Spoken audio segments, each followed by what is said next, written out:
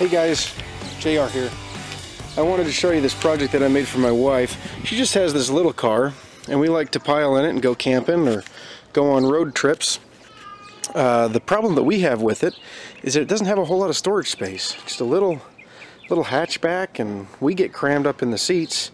So I went to uh, Harbor Freight and was looking at their um, cargo racks that you put on the back of your car and they just it didn't seem useful enough to us. Plus, we also wanted one of these yard wagons to carry around the kids or, uh, you know, tote stuff around at a convention we might go to or something like that.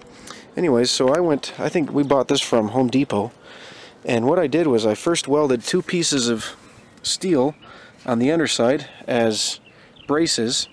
And under them are two little pieces that have holes drilled in them. So, I don't know if you can see that with the light there very good. But there's a hole in the side of each of these.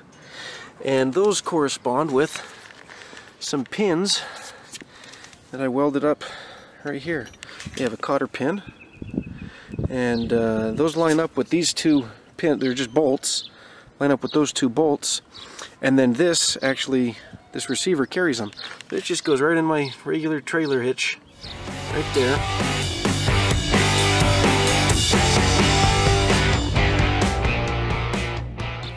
and then comes out and they both pivot right there and right there. This one has a bolt to keep it in the upright position, but it also has a cotter pin so you can pull that pin out and pivot the whole thing. So here's the, mount, the wagon mounted up. I have those bolts going through the carrier, through the bracket on the wagon, to the other side of the carrier, with a washer and a cotter pin on that side. And that holds it in an upright position. Normally we have sides on the wagon so it sticks up higher than our hatch. So what's nice is this lower pin. You can pull it out.